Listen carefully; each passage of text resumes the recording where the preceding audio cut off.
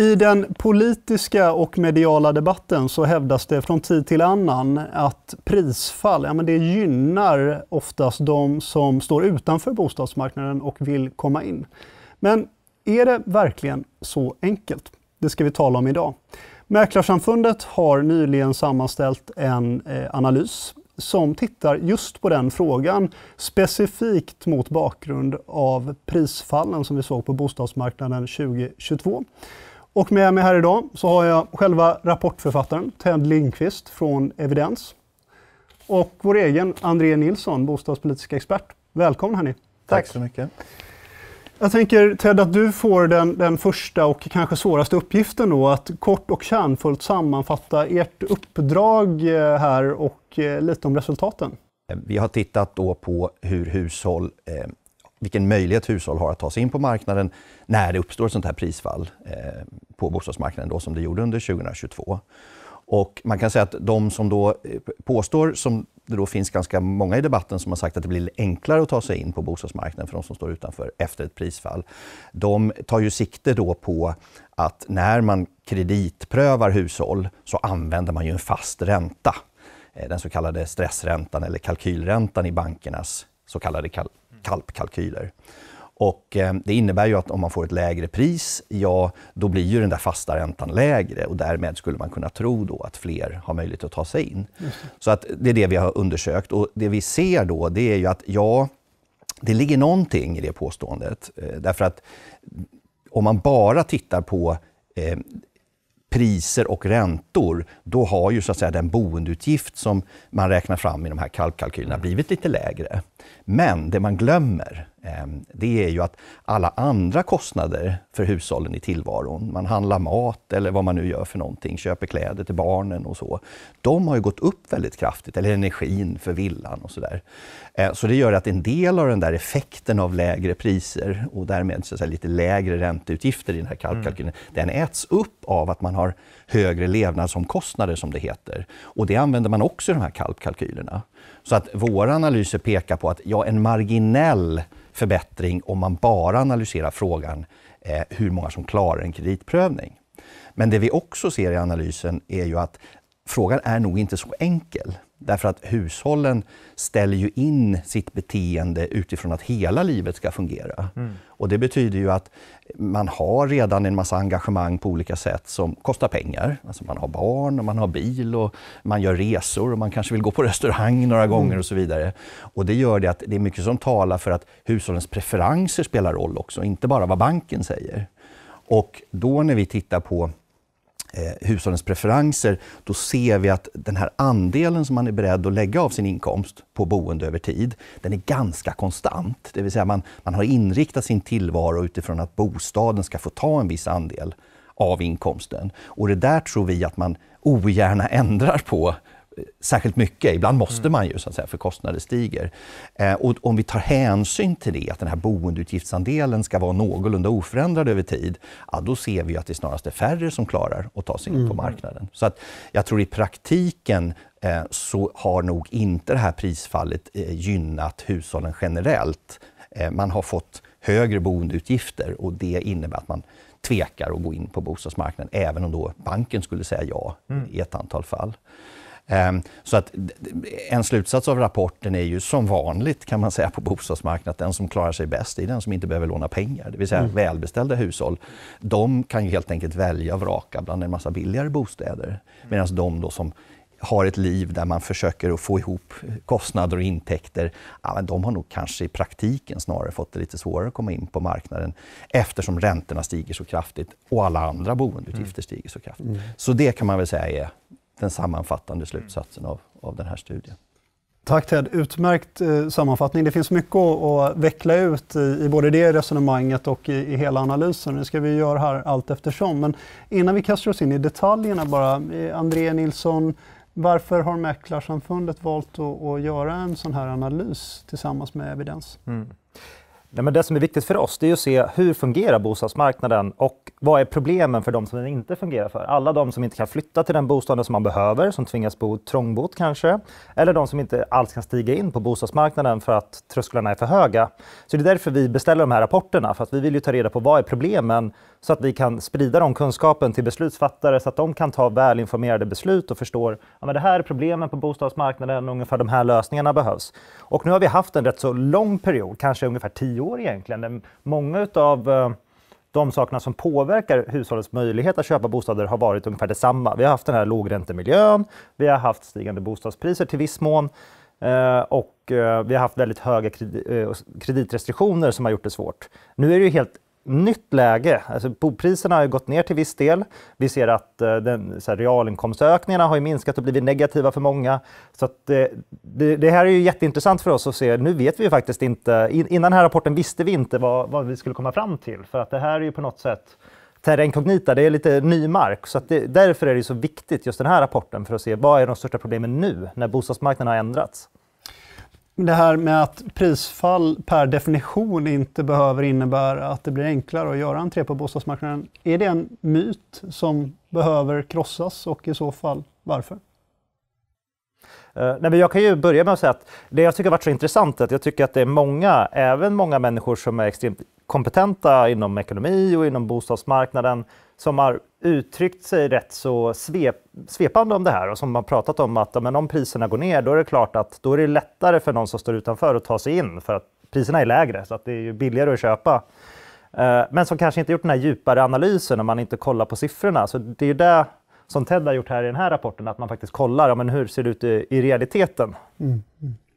mm. Det eh, finns ju många som sagt väldigt intressanta delar i den här analysen. Och, eh, rapporten inleds med en genomgång egentligen av de senaste årens prisutveckling. Där eh, Ted, du som har skrivit rapporten, konstaterar att ja, men de facto har priserna inte stigit alls på ungefär åtta år. Det tror jag är en slutsats som många liksom lite hoppar till av när de hör. Kan du förklara? Ja, det kan ju låta lite märkligt det här att priserna då, för det är som du säger, man hör och man läser i tidningen om, om att priserna stiger och jag tror att många till mans tycker att oj, oj vad höga bostadspriserna har blivit hela tiden. Men det är, det är flera faktorer som egentligen eh, avgör det. Naturligtvis är det alltid så att beroende på vilken startpunkt man har när man tittar på en priskurva och vilken slutpunkt man väljer, det påverkar alltid den här analysen. Men generellt kan man säga, om man, då, om man backar tillbaka bandet då till 2000 16, 17 någonstans, ehm, då, då ser vi att prisnivån idag då snarare är lägre än vad det var eh, då. Och det beror egentligen på två saker. Dels en lite mer trivial förklaring kan man säga, som handlar om inflation.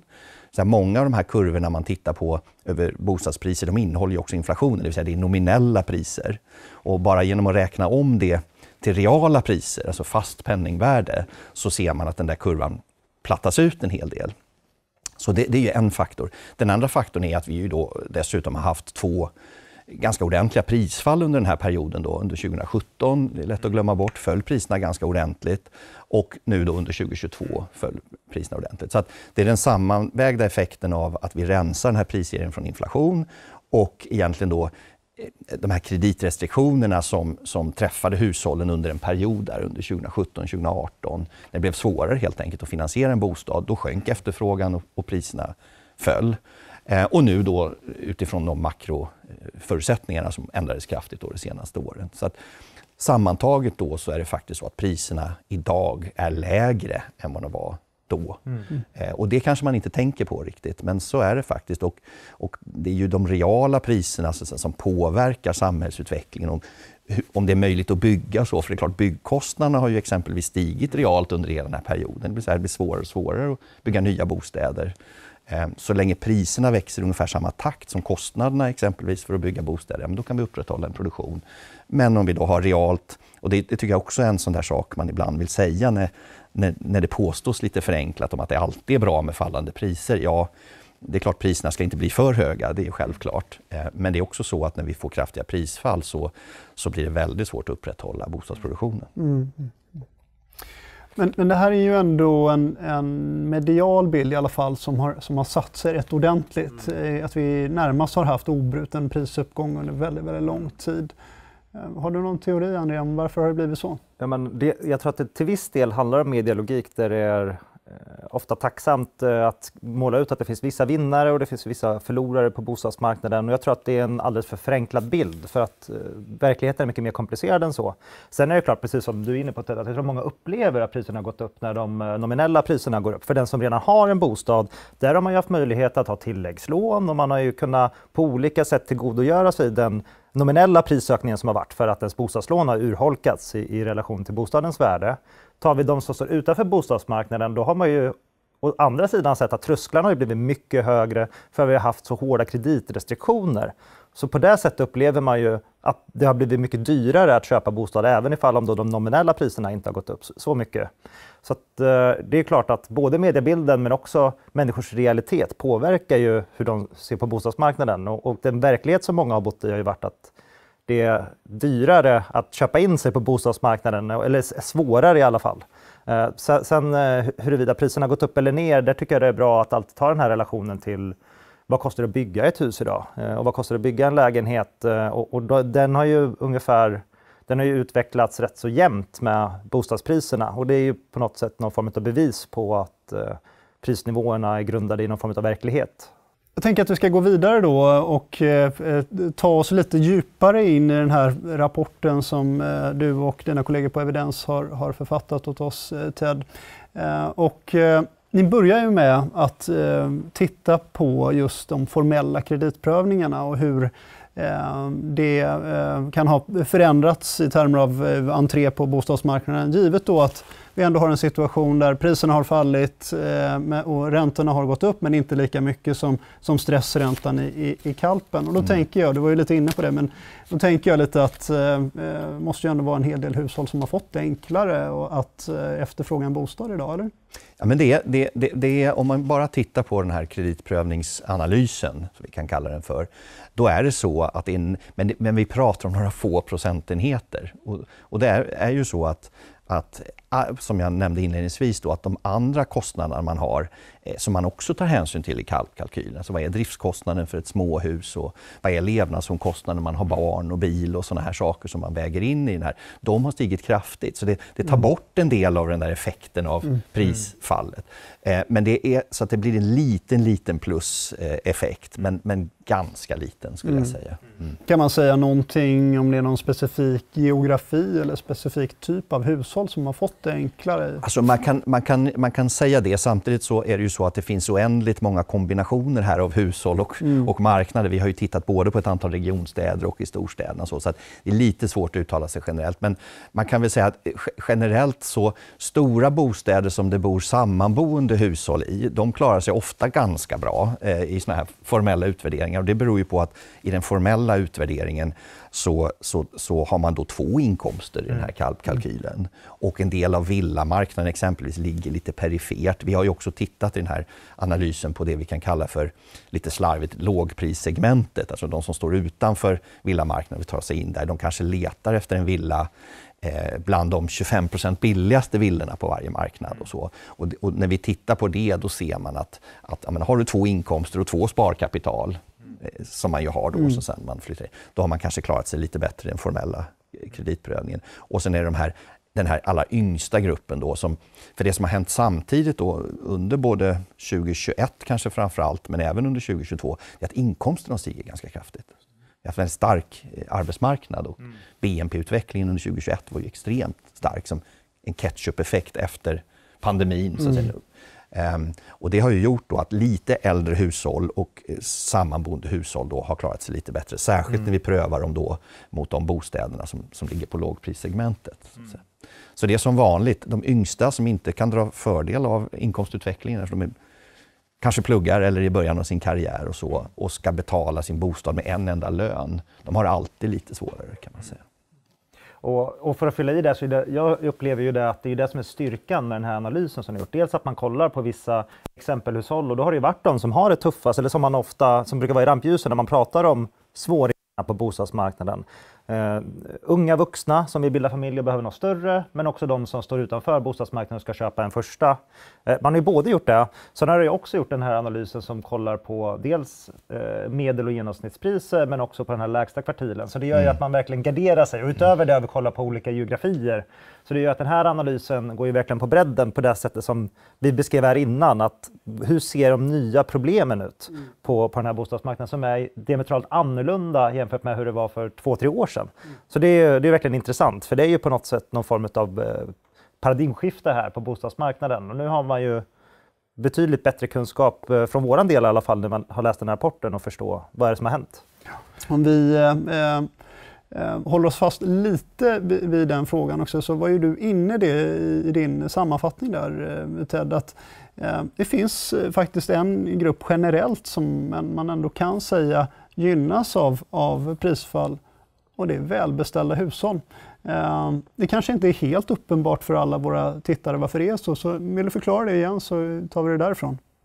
Ja, och det har ju att göra med då att är man välbeställd och i, i den här meningen då kanske i och för sig en hygglig inkomst men framförallt inträde på bostadsmarknaden handlar ju väldigt mycket om att man har ett sparkapital som är tillräckligt då för att slippa de tuffaste amorteringskraven exempelvis.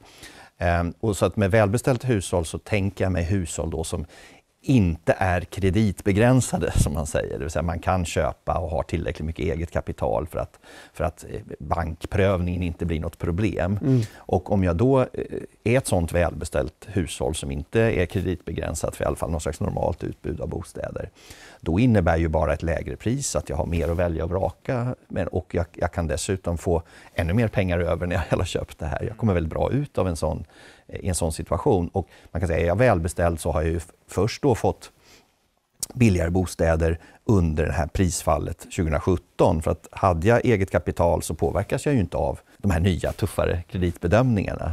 Och nu så att säga, har priset fallit igen. Ehm, så, att, så att det vi menar med välbeställda hushåll och den här effekten som du pekar på Joakim, där det handlar helt enkelt om att har man gott om pengar så eh, kan man välja att vraka bland ett billigare bostadsutbud helt enkelt. Mm.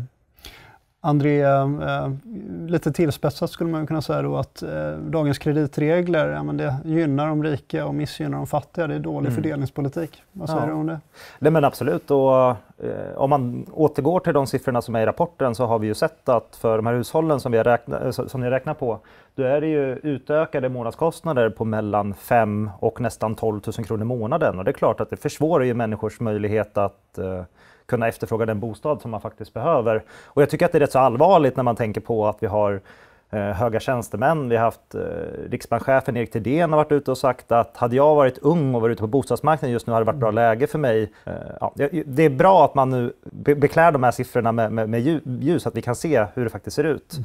Uh, och uh, det är ju kanske inte så intuitivt för alla, även för folk som är väldigt duktiga mm. inom de här ämnena. Och då kräver det ju ännu mer att vi verkligen ser till att analysera bostadsmarknaden djupt som vi har gjort här och att man ser vad är det som faktiskt uh, stämmer och vad, stäm vad är liksom magkänsla som inte stämmer. Mm. Men det om, om den formella kreditprövningen och hur olika typhushåll faller ut i den givet senaste årets prisfall. men om man ska fördjupa den här analysen, vilket ni också då gör i er rapport TED, eh, så gör ni där ett antagande om att hushållen vill eh, hålla eh, boendeutgifternas andel av sin disponibla inkomst relativt konstant över tid. Eh, och eh, gör man det antagandet och helt enkelt tar hänsyn till hushållens preferenser och beteende, då blir eh, resultatet rätt annorlunda. Va? Ja, det blir det ju därför att eh, om man inte vill lägga så mycket mer eh, av sin lön på att bo, eh, om vi då räknar hur många som har råd ehm, eh, att kliva in på bostadsmarknaden, då blir det ju mycket färre. Eh, och sen är ju sanningen att vi inte riktigt vet hur de här preferenserna kommer att utvecklas. Men tittar vi bakåt så, så är det ganska tydligt att de här boendeutgiftsandelarna och disponibel inkomst, det är i varje fall ingenting som rör sig väldigt kraftigt på kort sikt. Så även om vi kanske får en situation där hushållen tvingas lägga lite mer eh, av sin inkomst på, på boende så tar det tid och, och det är en trög och motvillig process. Därför att mm. då måste man ju prioritera bort saker som man har vant sig vid under decennier, en viss konsumtion, kanske att spara och vad det nu kan vara för någonting. Eh, och det där vill man ju gärna undvika. Så att, eh, och därför så tror vi att eh, med, med de här nya förutsättningarna, med höga räntor som man ska betala, höga kanske driftskostnader och bostadsrättsföreningarna måste kanske successivt höja sina mm. avgifter och så vidare på grund av att de har, får också högre räntekostnader, höga energikostnader och så. Då när hushållen tänker på det, ja, men då blir man väldigt tveksam att gå in på marknaden och ta på sig en så stor utgift helt enkelt. Mm. mm. Eh, så därför så blir det i praktiken så att man, det är färre som anser sig ha råd, kan man ju säga. Mm. Och visst stöd för den hypotesen tycker jag också att man har när man då tittar på hur ser omsättningssiffror och så ut på bostadsmarknaden. Naturligtvis går omsättningen ner på grund av prisfallet därför att man blir osäker. Även om man har råd så, så vill man vänta och se så att säga, hur mm, priserna mm, mm. utvecklas och man kanske ska sälja en tidigare bostad och så. Men det finns säkert ett element också i att omsättningen faller just för att färre tycker sig vilja leva det liv som det innebär att en tredjedel eller, eller ännu mer av inkomsterna då bara ska gå till att betala boendeutgifter. Mm. Och, och, jag tycker det är så himla tydligt i den analysen som ni gjort också, för då ifall man kollar på hur hushållens utgifter har påverkats, speciellt då med inflationen och räntekostnader. Det är, grafen ser ut som en hockeyklubba. Den har liksom varit spikrak under kanske tio år, sen bara rakt upp. Nu är ju stresstestet här på riktigt för hushållen. Och det är klart att i en sån situation, då ökar ju alla utgifter. Eh, det är klart att bostadskostnaden kommer också behöva öka, speciellt ränteutgifterna, men man kan ju inte öka dem hur mycket som helst ifall om ens andra eh, utgifter också går upp. För på något sätt så måste kalkylen gå ihop ifall man ska kunna hålla sin privatekonomi. Så det handlar ju verkligen om realitet. Hur ska hushållen klara det här? Men om man skulle fortsätta vara lite djävulens advokat här då, eh, och tillämpa det här resonemanget så, så kan man väl ändå se då att vi har ju en hel del hushåll som idag har fått betydligt högre boendeutgifter. Mm. Om det här resonemanget är giltigt, borde inte det betyda att vi ser en strömning i motsatt riktning? Alltså att det är många som inte accepterar så här höga boendeutgifter och helt enkelt säljer på grund av det. Men det mm. ser vi ju inte. Kommentarer? Mm. Och det finns ju flera olika anledningar till det här. En av dem är ju att det är många som är i en väldigt tuff situation. Man kanske köpte rätt så nyligen och sen har man sett att värdet på sin bostad har gått ner nominellt rätt så kraftigt och i värsta fall kanske man inte får ut de pengarna som man har, kanske betydligt mindre pengar ifall man säljer sin bostad. Så där är det ju många som på det sättet känner sig fast i sin bostad för att man är orolig att flytta skulle vara en privatekonomisk tragedi för dem egentligen. För det är ju pengar som kanske har tagit flera år att spara ihop som i sådana fall är borta. Mm. Vad säger du Ted?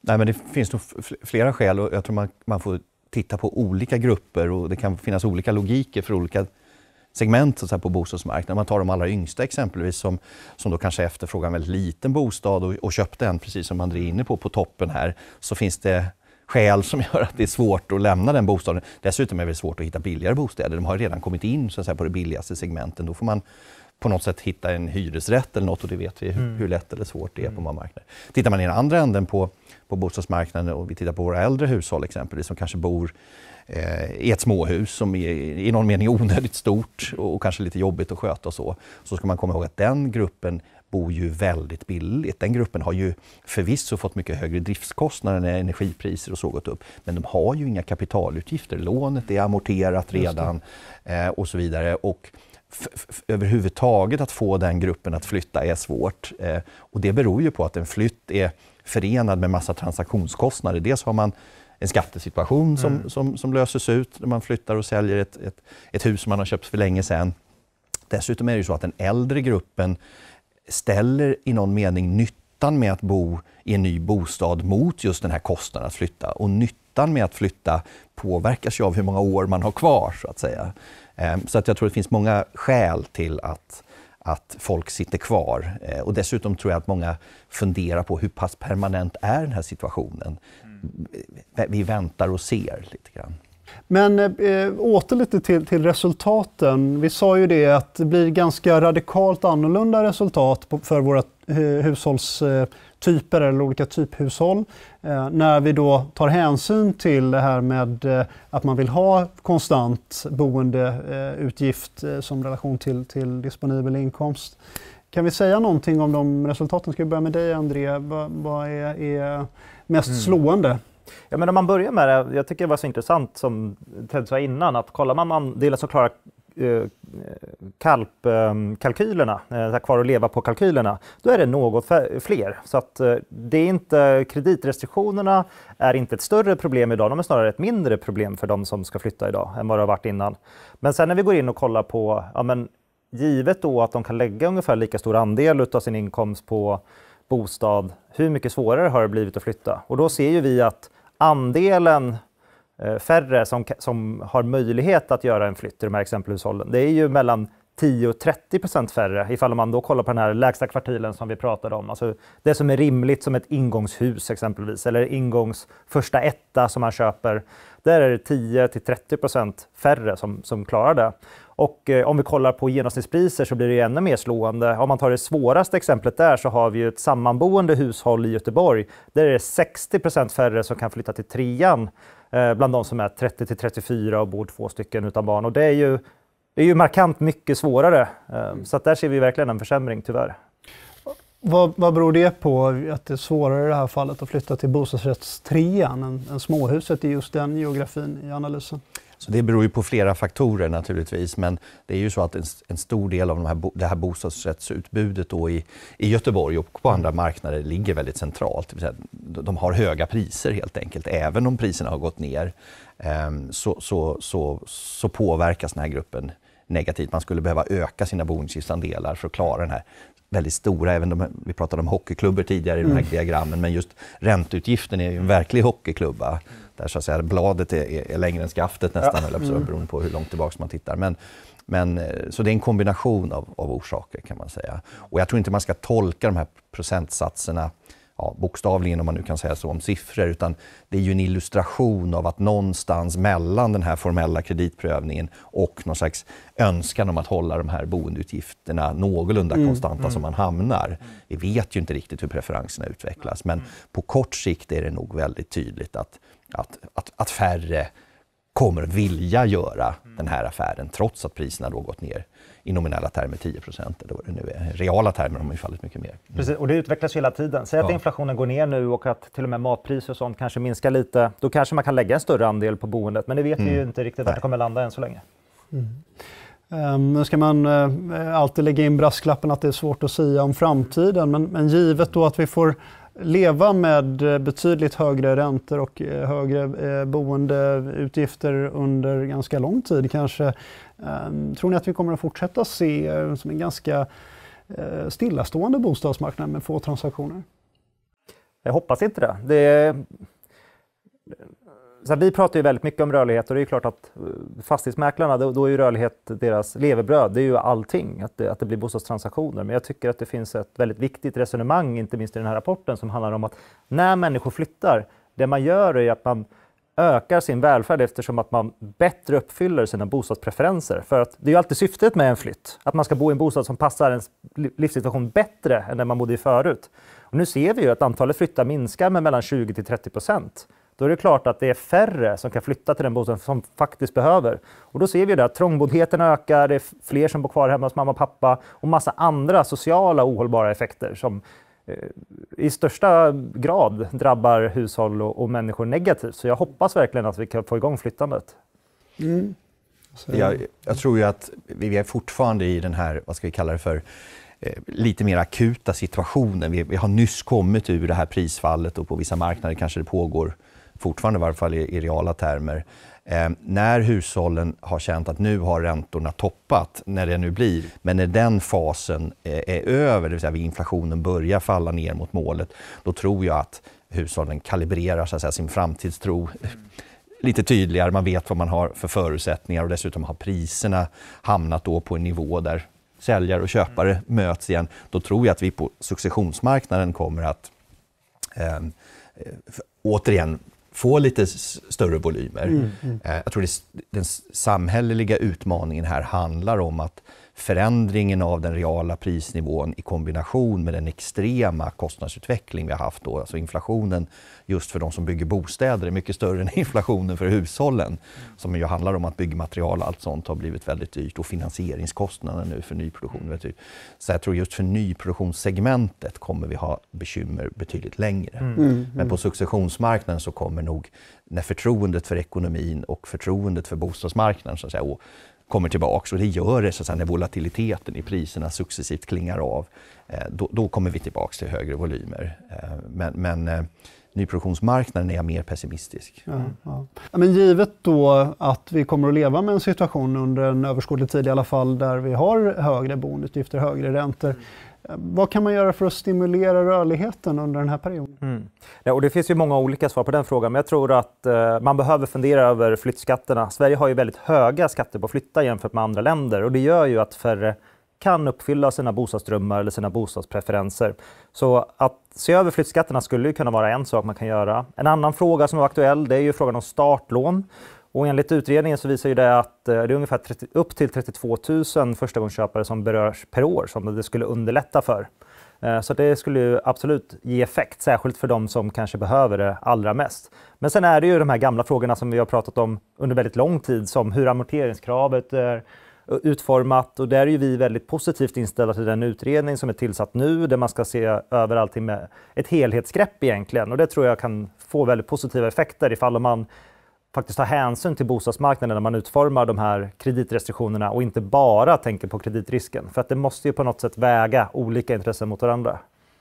Som av en händelse då så har ni ju tittat på det här lite i, i rapporten också. Finns det politiska beslut eller åtgärder som kan dämpa de negativa effekterna av den situation som vi nu befinner oss i då Ted? Kan du jo, säga men det, det, det gör det och um, precis som Andreas sa, vi har inte kunnat göra någon ut, uttömmande analys av alla möjliga saker man kan, man kan göra, men vi har tittat just på eh, amorteringar, vi har tittat lite grann på vi har försökt simulera så säga, en situation med någon typ av startlån. Ehm, och då kan man väl säga att båda de eh, potentiella reformerna, då, att man liberaliserar amorteringskraven, mm. sänker så den genomsnittliga amorteringstakten, är i alla fall ett sätt att räkna.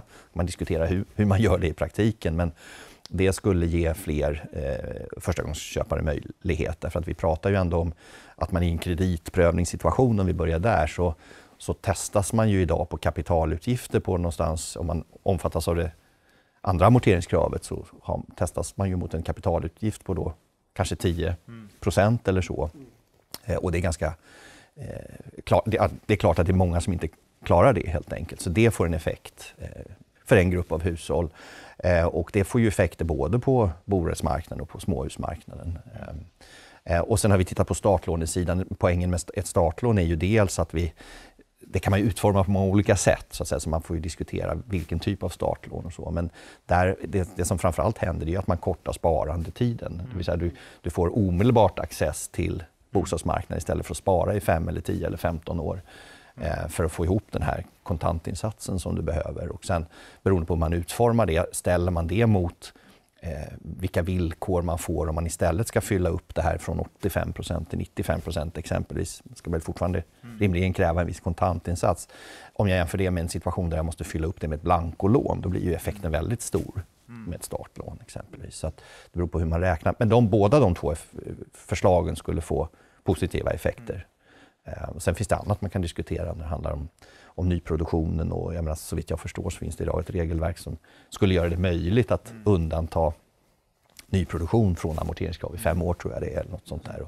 Men ingen använder det och det är klart att om, om man skulle kunna upprätthålla mer av nyproduktionsvolymerna bara med en sån ja, använder det regelverk som redan finns, det skulle naturligtvis vara bra. Sen vet inte jag exakt vilken effekt det skulle få. Mm. Men, men just samhällsekonomiskt är ju effekten av att, att bostadsproduktionen faller kraftigt, den är väldigt stor och negativ. Vi har ju räknat på att den minskningen vi ser nu i bostadsbyggande, det kan, kanske bidrar med nästan en procentenhet i lägre BNP-tillväxt exempelvis. Och då, då är det ju lite olyckligt om administrativa frågor så att säga, kring lånehantering skulle sätta så stora käppar i hjulet för svensk mm. ekonomi. Mm. Ja, och jag tänker ju verkligen på de som drabbas av de här höga trösklarna, de som står utanför. För just de här ett, två eller kanske tre åren som man skulle kunna träda in tidigare på bostadsmarknaden med startlån. Det är ju ett till tre år där man slipper bo i otrygga andrahandssituationer exempelvis.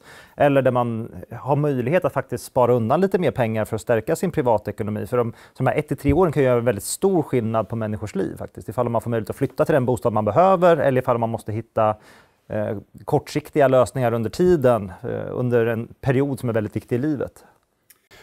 Blir det något startlån tror du? Jag har ju ett sådant förslag men man hör inte så mycket.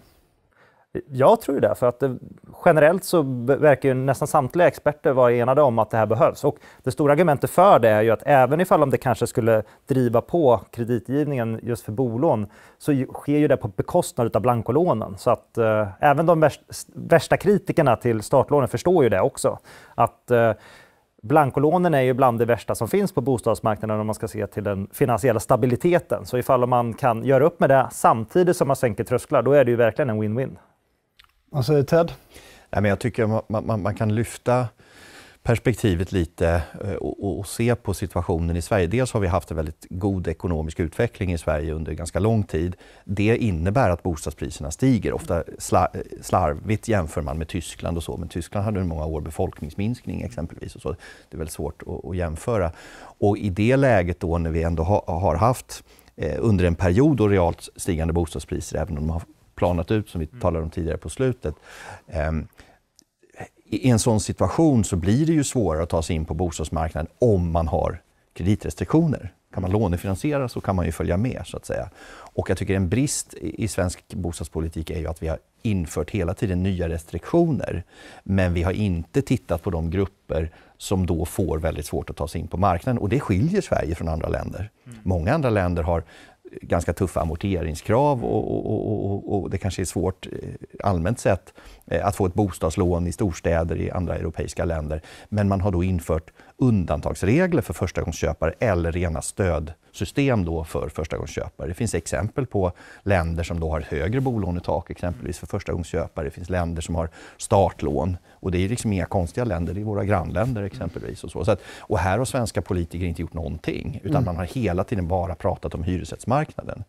Men det rimmar ju inte riktigt med hur den svenska bostadsmarknaden ser ut. Vi har ett enormt villautbud. Det räcker att komma utanför mm. de centrala delarna av storstäderna så är, är, är småhusmarknaden väldigt dominerande.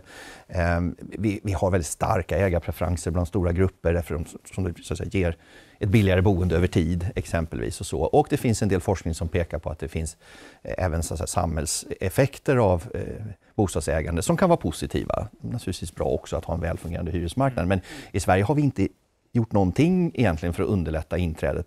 Vi har bara gjort det svårare och som lök på laxen har vi då i varje fall i storstäderna, en dysfunktionell hyresmarknad. Och, och det här tycker jag kanske att man, man, det blir lite för mycket titta i stuprören här. Så att säga, Finansinspektionen har sitt perspektiv och Riksbanken har sitt perspektiv. Men jag frågar mig lite grann, vilket perspektiv har politiken? Mm, mm.